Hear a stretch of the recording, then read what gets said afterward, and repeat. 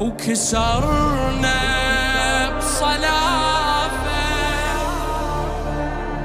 ضلوع الترافة. وشوينا إيديها.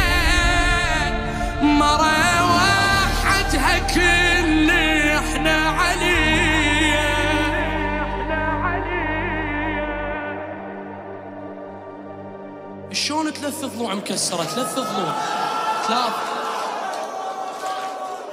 يعني ما تقدر ترفع ايديها. وضعت ظهري خلف الحائط.